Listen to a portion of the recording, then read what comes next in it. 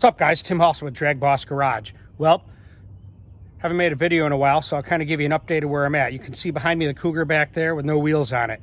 So I ended up getting the wrong springs sent to me from Mark Menscer.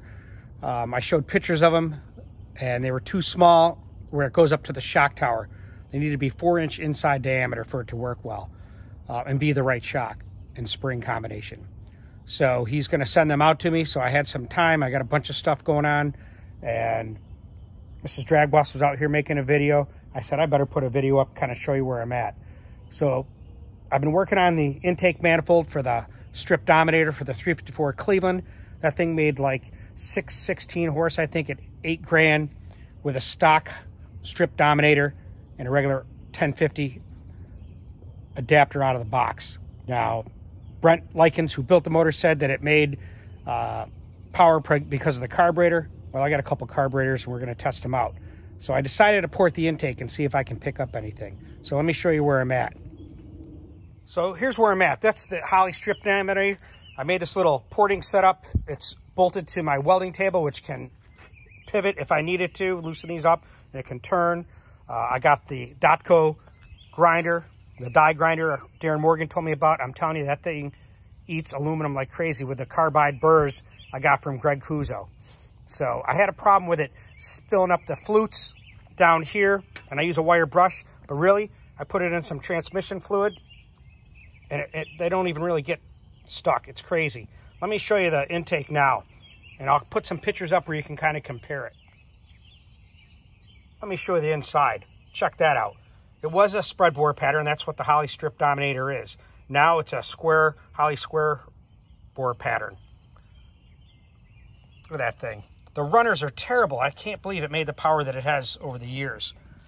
But I've got them kind of smoothed out, especially here, here. These guys are kind of big to begin with. So I did the best I could on it. These are pretty uptunded, rounded. So I started smoothing them, and I'm just in the preliminary stages. So, oh, hi, Alaina. Can I tell you something? I'm making a video. What can you tell me? Um, Just what? We're gonna make lobster. Okay. Yeah. All right. Wait, what are all these? Do you remember one got stuck in my foot? Well, that was something different, but yeah. So anyway, so take a peek. You want to say hi? Everybody. Gymnastics going. Good. Can I show them the cartwheel? Okay, hurry up. Okay, okay. She's got to show you this cartwheel. She's been practicing. Nice. That's a nine. I know. Let's let's let me finish doing this. So you can see in here the runners. Again, this guy's pretty thick right here, so I'm trying to round it out and streamline it.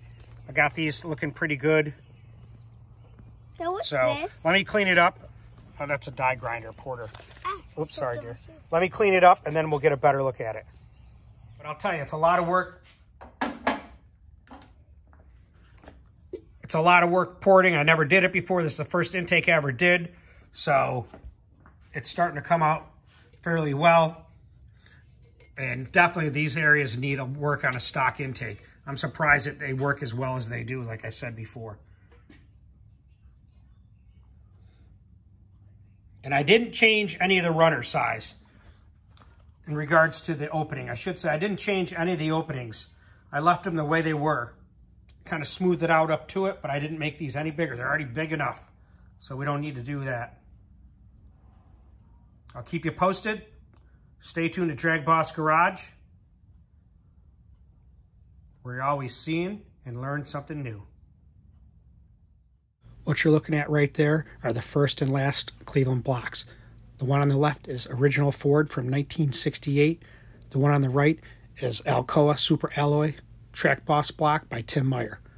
More on these two blocks in the future. Stay tuned.